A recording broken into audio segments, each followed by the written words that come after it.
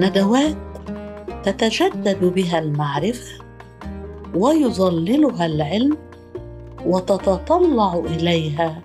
القلوب والارواح